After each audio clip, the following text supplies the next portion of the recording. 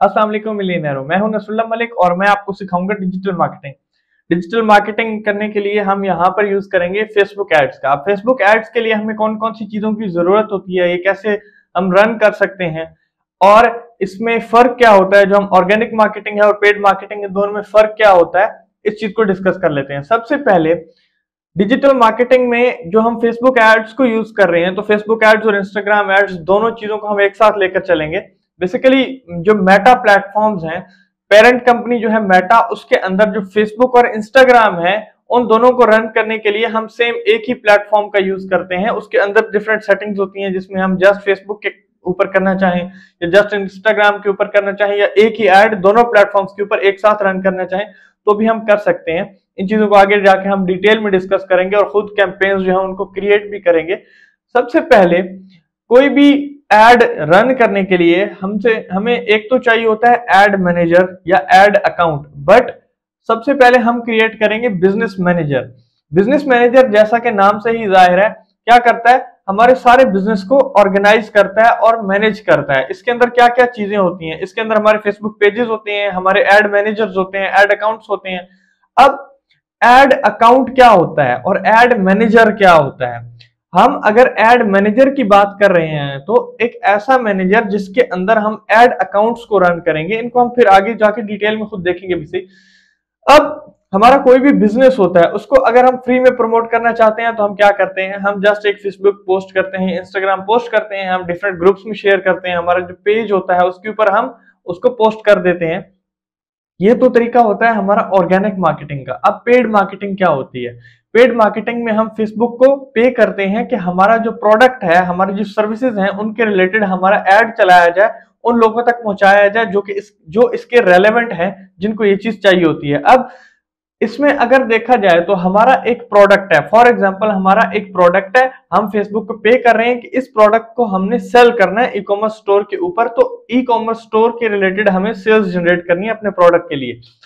अब फेसबुक हमारा एड जो दिखाता है फेसबुक कैसे बता सकता है? फेसबुक के पास वो कौन सी कौन सा एल्गोरिदम है वो किस तरह से काम करता है कि हमारा एड उन लोगों को ज़्यादा दिखाया जाए जो कि उसको प्रोडक्ट को परचेज करना चाहें।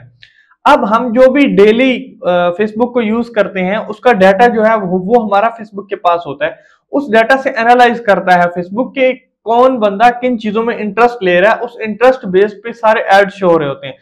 आपने अगर खुद नोट भी किया हो तो आपका जो फेसबुक है या इंस्टाग्राम है या कोई भी ऐसा प्लेटफॉर्म है, वो आपको आपके इंटरेस्ट के रिलेटेड ही ज़्यादातर प्रोडक्ट्स जो होते हैं, ज़्यादातर जो एड्स होते हैं, वो उसी चीज़ के रिलेटेड दिखा रहा होता है जैसा आपका इंटरेस्ट होता है, उसी चीज़ के मुतालिक दिखा रहा होता है।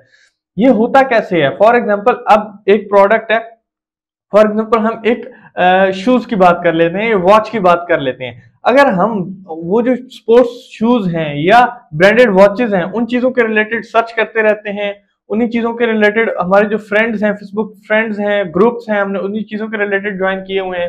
फेसबुक पेजेस हमने उन्हीं चीज़ों के रिलेटेड जो है वो लाइक किए हुए हैं। जो हमारे सामने पोस्ट आती है, उन्हीं चीज़ों के रिलेटेड हम पोस्ट के ऊपर एंगेजमेंट करते हैं शेयर करते हैं लाइक करते हैं या कॉमेंट करते हैं।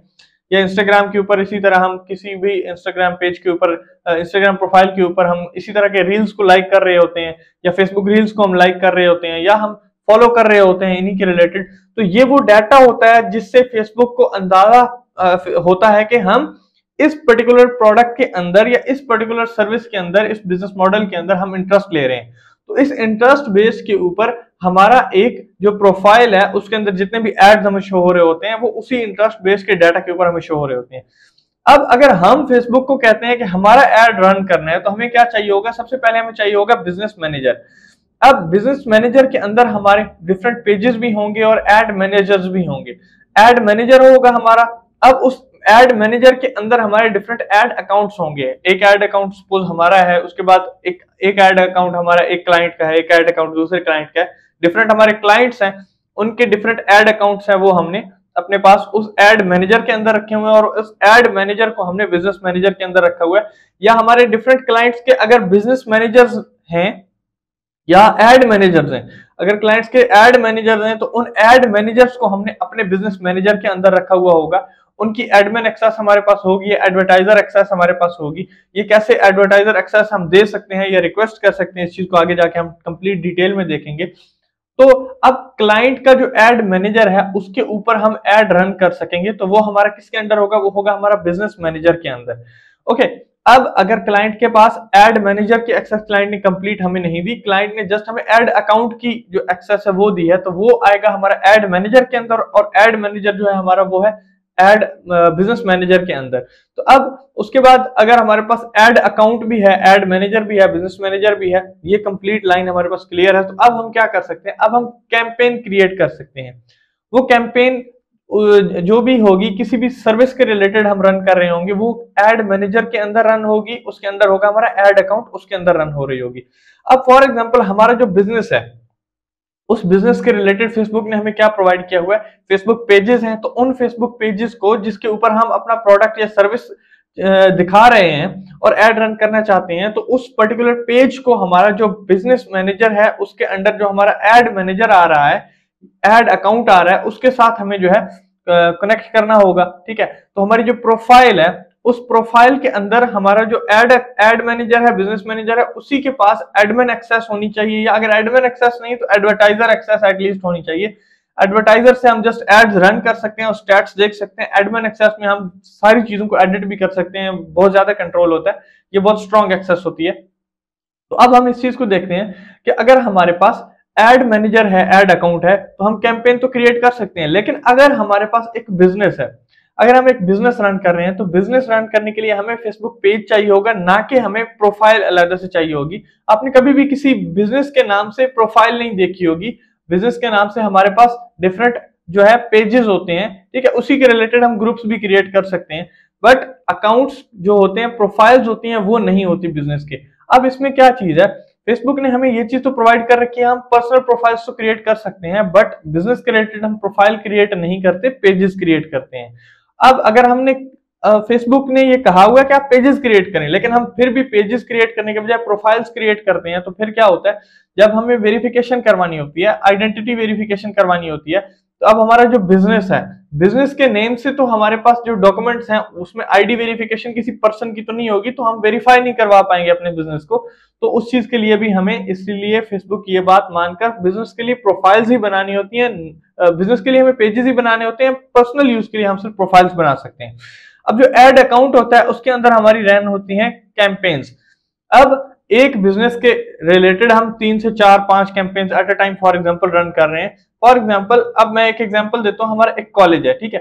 एक क्लाइंट है, जिनका कॉलेज है या यूनिवर्सिटी है। अब उनके लिए हम एक एडमिशन कैंपेन रन कर रहे हैं। तो एडमिशन कैंपेन के अंदर हम एडसेट्स रन करेंगे। एडसेट्स किस चीज़ के लिए होंगे? फॉर एग्ज़ाम्पल डिफरेंट जो अब एक कॉलेज है, उसके रिलेटेड हमारे पास जो जितने भी कैंपेन्स हैं, उनके अंदर हम जो एडसेट रन कर रहे हैं, वो डिफरेंट डिग्री प्रोग्राम्स के हो सकते हैं। तो उन डिग्री प्रोग्राम्स के रिलेटेड चार से पाँच डिग्रीज हैं उनके पास, ठीक है? तो उनके रिलेटेड हम जो है डिफरेंट कैंपेन्स रन नहीं करेंगे। एक ही कैंपेन के अंदर हम डिफरेंट एडसेट्स बना देंगे और एडसेट्स के अंदर जो है, हमारे एड्स रन होंगे। इस तरह से ये सारा मॉडल काम करता है। एड मैनेजर किस तरह से बनाया जाता है? उसके अंदर हम बिज़नेस अकाउंट किस तरह से क्रिएट करते हैं? बिज़नेस मैनेजर एड मैनेजर उसके अंदर एड अकाउंट फिर कैंपेन्स कैसे क्रिएट करते हैं? इन सारी चीज़ों को आगे जाके डिटेल में हम डिस्कस करेंगे। अभी तक हमने जस्ट इस सारे मॉडल का ओवरव्यू देखा और जस्ट हमने इसका इंट्रोडक्शन देखा कि सारा मॉडल काम किस तरह से करता है। Thank you